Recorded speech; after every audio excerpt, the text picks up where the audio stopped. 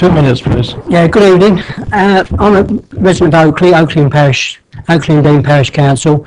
Reiterate what the gentleman said, Mr Hodges, about the Oakley uh, service. It is uh, every hour now, it was every half an hour. Um, why it goes all round through South Ham when they already got the 4, 8 and the 3, I don't understand. It doesn't go past Morrison's, it doesn't go past the doctors, it doesn't go past Beacott. Also, while I'm on it, uh, not the 11 so much, but the 8 goes straight into town after a certain time in the morning. So anyone who's at Buckskin can't even get to the top of the town. Uh, I used to be a bus driver for a stagecoach, and I can remember years ago they had a 56 and a 50. The 56 used to go from the bus station to Sainsbury's, change number to 50, and come back down through Brighton Hill. Why can't they reinstate this service and we're the same again back the other way round? It's the same bus, it just changes numbers at Sainsbury's. It could even go round Beggarwood and still come back to town. Uh, the other thing is, One minute, please. yeah, the other thing is, we do have a service on Sundays, which is 76, which I understand is operated by Hampshire County Council and Basingstoke and Deane. Uh, it comes from Andover. Why it comes from Andover, I'll never know. But it only goes to Whitchurch during the day, and then it goes returns back to Andover at the last service. Uh, because Basingstoke Borough actually pay for this service, I understand now, from uh, a, a forum that I attended. The other thing is, um, if the people in Oakley don't use the service, they will lose it. There's a certain saying, if you don't use it, you'll lose it. And that's what's happening. Thank you, Mr Chairman. Thank you very much.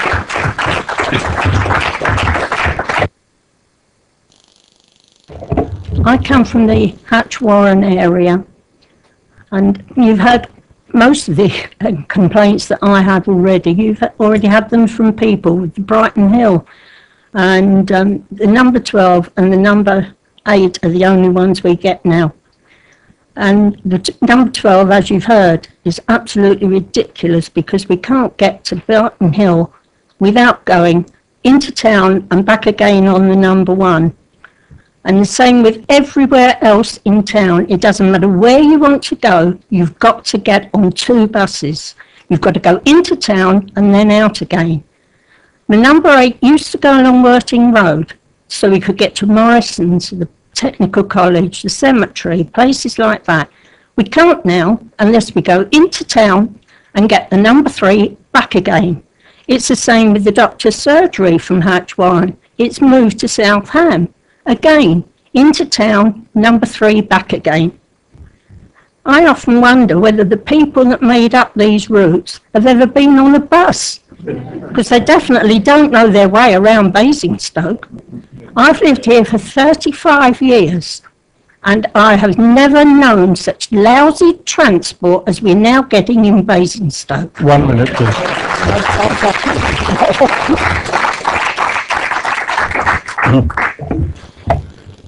Thank you for giving us the opportunity to speak, Mr Chairman. Bus services in Basingstoke. Uh, Mr Dyer, I believe, is here.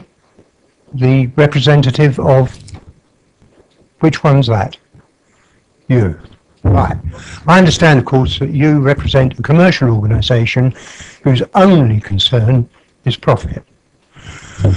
As we've heard from many other people, this is not a service. The particular bus route that I'm concerned with was, if I've got this right, a number two, which became a number seven, which became a number 12, which has disappeared. Our main bus stops are between the roundabouts on the Hackwood Road. We were told when we found out about this, I found out One minute, about, please. I found out about it because I went to a bus stop and no buses came along. I had no notification beforehand. I also would point out at this time that uh, we sent a letter, my wife sent a letter to Peter Smith, Transport Officer, Basingstoke and Deane Borough Council, Stagecoach, Passenger Transport Group, HCC, Brian Gurdon, our councillor, HCC. We have had no response whatsoever. This indicates callous indifference to the burghers of Basingstoke. Um, we live approximately one mile from the town centre. The bus service, an alternative bus via a different route and a considerably different um, walking distance to arrive at, is obviously much longer. It's been reduced from the, shall I say, the number seven of one of those, which was a three an hour, not brilliant, um, to one an hour, and as you've heard before, not on Sundays. Are you concerned with this at all? I, I am certainly very concerned with it, but you've used your time, thanks, Right. Mr Lydia. Well, there is something I think I should say extra. In a- arranging this meeting and the way you have organised it, from a management and administration point of view, if you'd have called people up while the previous people were speaking, you could have given them, on percentage basis, considerably more time to speak. This operation is a disaster. And I would also say something else. My experience, my experience of buses have been RTs, RTLs, RMs and trolley buses. I also have an experience of a 33 tram. I would say that the buses, many of the buses that are on these people's that they supply are uh, as bad as 33 tram. M- Mr Lydia, you- Certainly- you, you, you, you've used more of your time and there are other people waiting to speak. Well, they, if you'd have allocated and oper- organised this properly, they'd have had much more time to speak. Uh, Chris- Christine, I live in the Berg on Buckland Avenue, which used to have seven buses an hour. The number three and the number four, 4A. Now we have two buses an hour, the number 11 and the 4, 4A. They go at either six minutes to the hour or 13 minutes past. If you miss one, you've got 40 minutes at least to wait. We have the same circumstances when we come back. The Berg has mostly elderly people. Quite frequently, the buses that we get are double deckers, underused, with a bar down the middle of the doorway, steps, which are difficult to get on and off. You can't get a shopping trolley up there easily, and a buggy or a pram is very difficult. And the drivers are unable to give any assistance, which means if you've got shopping, baby in a pram, you have no chance. And with one bus an hour, you've got to wait another hour. I don't think that's fair. I have uh, corresponded via the one minute, with Andrew Hawkshead of Stagecoach Southern, and I had a reply when I said that there, they, he replied and saying there was a better uh, service, modern traffic pattern and declining pattern of customers to change three, the Jazz three, and that it was done because they, uh, excuse me, were um, incurring penalty points for lateness. Now, I've watched many a number three come round with another one directly behind it. If a 10-minute service does that, that would suggest to me they should be not quite so frequently, and then people would be, they would be more fully occupied. I think the service is appalling. It certainly wouldn't encourage people. The routes go round the centre of the outskirts of all the estates and not in the middle. We have no Sunday service. It Thank- makes life very difficult. Thank you very much. Jerry, Jerry Trainer now. Thank you. You'd think I ought to be used to this. Um, thank you, Chairman. Um, I won't keep you long. Um, I'm not representing anybody particularly, but I do wish to speak about the elderly. I'm uh, uh, very elderly myself. Um, I want to speak about one person. I won't give any name or who what sex they are. But they got off the bus they, uh, in Winchester Road to travel or walk up to uh, Hillview. Halfway up Hillview, they collapsed on the side of the road because they were carrying shopping. There is no buses, no number three buses up or down in, in, um, Hillview Road. South Ham and the Berg is, uh, uh, very commonly known as God's waiting area because there is lots and lots of people like myself.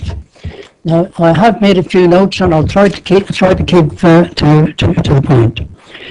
Um, I said that about the, now, come to consultation. I don't remember. Minute, please. I don't remember any consultation whatsoever from myself or any of my neighbours.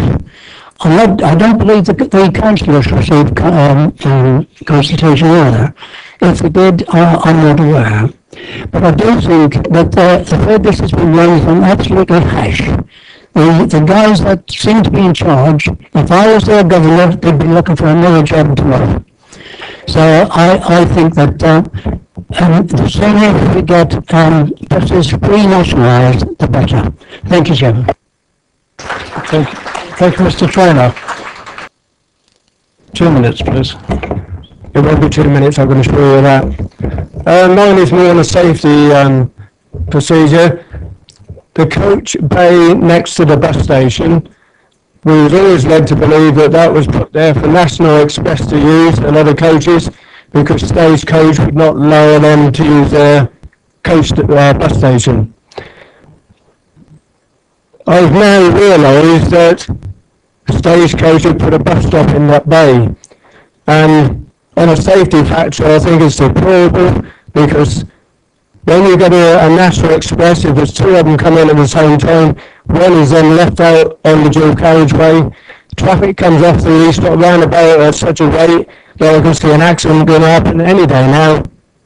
And any other coach form, if there's two coaches coming in, the bus that is parked there is um, holding everybody up. Um, the organisation was showing secretary, which is a can do over 55 for them. We had um, two coaches going in there, one drop off, thank you very much.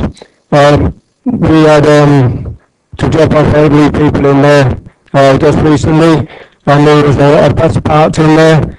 And the driver went up and asked the stagecoach driver if he could move up, and the driver turned around and said, I'm here for another five minutes yet, that's it. And he didn't cooperate one bit.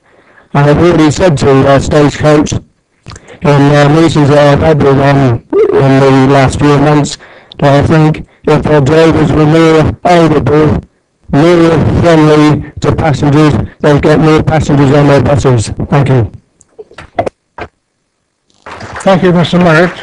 Um, Um, I just want to start off by saying that the biggest issue currently facing young people in Basingstoke is transport and more specifically buses. Um, since the changes have been put in last year, young people have issues getting to school, colleges, getting to and from leisure activities and from work. And if the buses do run, then they are very poor quality and a lot of the times they don't even turn up. Um, exactly one year ago, a lot of consultations were taken by the council um, about young people's transport issues, and I believe they were directly fed back. But a year later, I stand here and ask, what has been done about this? In fact, now that more changes are going to be taking place, I think this will have a really significant impact on um, people from a wide range of the spectrum and um, especially on the lives of young people. So, thank you. Thank you very much for time. Do we have another Mrs